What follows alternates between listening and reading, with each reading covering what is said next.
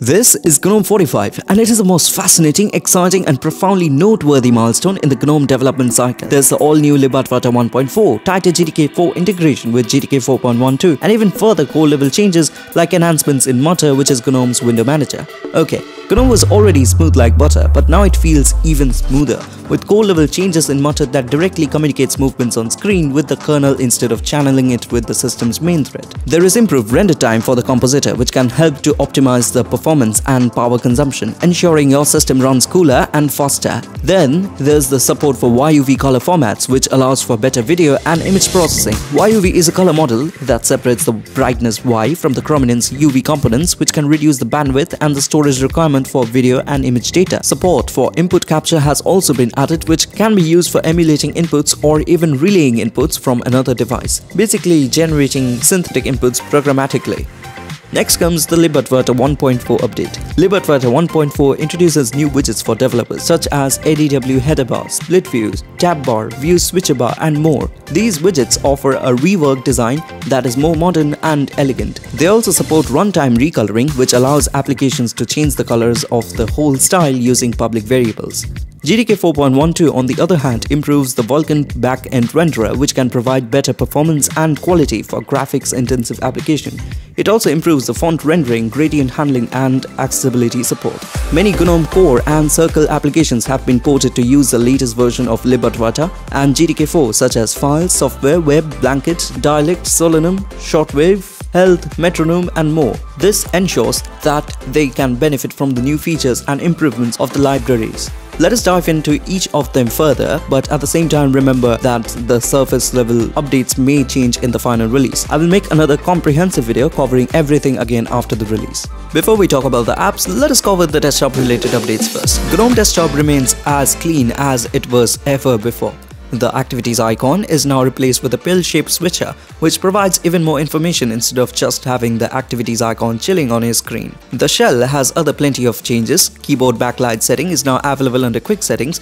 New shortcut for toggling quick settings is also available. Hardware encoding for screencasts is set to be enabled which is one of the milestones set for GNOME 45. Background apps now show a spinner when it is set to be closing, but although when I tried to close I had to do it two times so I guess there is some kind of issues still there which needs a fixing. Item level updates under Bluetooth quick settings and a new camera indicator. Okay, moving on to the apps. Starting with Nautilus, the official file manager from GNOME has some visible changes. There are subtle changes in the app which improves the user experience, like the hamburger menu in the sidebar, which I think looks a bit weird because hamburger menus are mostly at the extreme left or is it just me having an overdose of Google's material guidelines?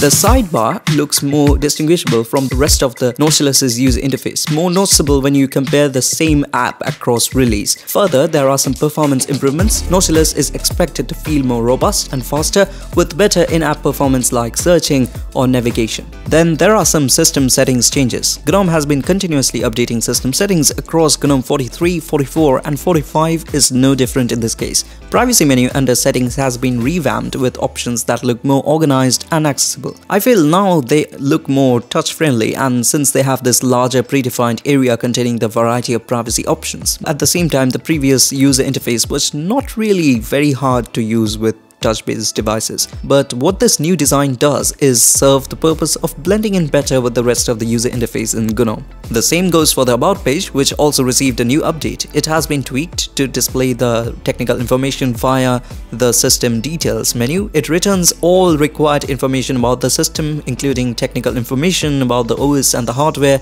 A neat copy button is also added to the top left corner on the header bar, which lets you copy the system info, should you need to send it to someone else in an organized format. Furthermore, for the convenience of newcomers to the Linux platform, an informative pop-up has been incorporated to the users panel to elucidate the auto-login settings. Descriptive elements has been included to assist users in comprehending the various options presented in the sharing panel. You can choose on or off for each of them instead of having the option to turn on or off globally. Also, the design now matches with other GNOME settings pages. Enhancements have been implemented in the online accounts panel to provide users with more precise control. Also, I forgot to mention, notice the sidebar looks different now, just like we have in Nautilus. I think at this point, they should also consider changing the scroll physics. There is now added ability to forget networks through the saved networks window. Better keyboard navigation with search entry means now you can easily move the focus to the search results after the search is done using just the keyboard arrow keys. This was not available previously. Actually, the entire settings page is now pretty navigable with just the keyboard. Administrator option explanation is also a new feature that is added and many other small changes in settings are there like closing certain dialogues with an escape key and then we have the added top bar clock and calendar switches for changing the clock. Also we get this seconds switch which if you turn it on it will show the seconds along with the clock uh, that is getting displayed. There is also sound alerts to make bass audible on low quality hardware. It may sound stupid but I just had the right device for testing this out since I have used cheap and low quality hardware for a long time. Anyway, the changes are not yet visible separately so let's skip this for now and keep your ears sane. There are new core apps replacing the previous ones like the Eye of GNOME has been replaced by the modern Loupe image viewer app. It is simple, modern and blends in quite well with GNOME. You can open the image and select multiple images to view them. The UI is very neat. There are some buttons which help you navigate through your set of images. The same can be done from the keyboard using the arrow keys. Then we have the zoom in or zoom out button available on the other side, also controllable with the Ctrl plus or Alt scroll, very prevalent in Adobe apps. Anyway, there's a full screen button too, a neat info button on the all new header bar which now makes use of the available space and shows the image info. And finally, there's the hamburger menu for more tools. Notice the neat copy button on the other end. It allows you to copy the image and place it anywhere in the UI like in Nautilus. Finally, the option to delete the image permanently. Also, Snapshot is the all-new camera app which replaces Cheese.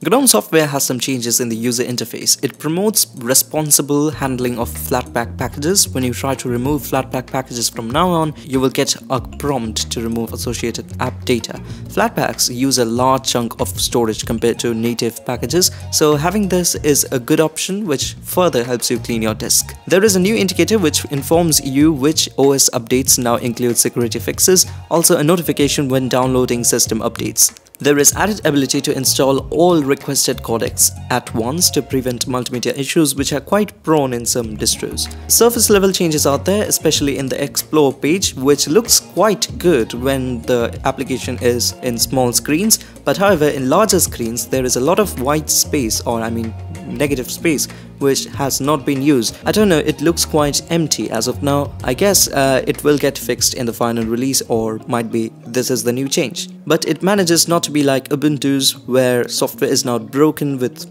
weird icons, a bright white unknown theme, and slow first startup time. This happens quite a lot with Ubuntu. Anyway, we're not comparing operating systems here. GNOME Map has received some new updates, like zoom buttons move from the header bar to an overlay on the map. The sidebar for readout now adapts to touchscreen display. I feel like more and more updates are now focusing on touchscreen displays and putting this part into consideration. The interface looks nice for GNOME Maps but I feel something is missing from the design, uh, mainly if you compare it with modern GNOME apps. Does not particularly mean that this application looks uh, ancient or has a very old user interface but at the same time there is something missing in the user interface which does not make it like really modern GNOME. Like for example in the weather app there is a new update and as you can see the interface looks and matches quite well with GNOME and even if you consider with other applications or compare with other applications which are recently updated I guess the Maps application will receive update later as we move along with GNOME's release cycles. Okay, back to the weather app which looks very clean and modern, is right up to the standards of GNOME and it also remembers window size across relaunches as an update now. GNOME console now allows it to change its font, so you can go ahead and select a pretty one. Someday you will also get the option to select a terminal bell of your choice, like this one. The connection app now can copy or paste images, text and files with RDP connections, but it is still on GTK 3. I guess that this is from Red Hat as it shows here, but anyway, Furthermore, the calculator now supports more currencies including the Nigerian Naira, the Jamaican dollar and others. Plenty of other changes are also there. like the document scanner, which has now been ported to GTK4. New app styling and adaptive behavior for core apps are also there, like text editor, contacts, files, web, calendar. The full list is shown on the screen. That's all for this video. Remember, many of these changes may not be reflected soon enough if you are testing them. Since this is not final yet, you can explore the complete set of changes from the release notes of GNOME 45. Here is the link. You can find it in my description too. Do like, share and subscribe for more such videos. I'll catch you in the next one.